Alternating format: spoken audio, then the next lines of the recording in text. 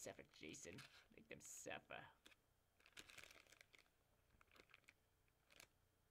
How come there are so evil-hearted people Could in the way hell? God wants us good-hearted, not just an evil-hearted. Look at how many people being stupid, huh? Stupid, stupid, and it is stupid, and it is stupid. What else? Stupid, stupid.